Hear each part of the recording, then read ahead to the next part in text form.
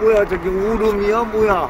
어, 가운데 들밭에 산 같은 게 비슷한 게 하나 딱 서 있네요. 여기가 어디냐면은 어 장흥포 교차로 지나갑니다. 어 반포 대장의 오늘은 철원 나들이? 어 안녕. 구독과 좋아요 알람 설정 부탁드려요.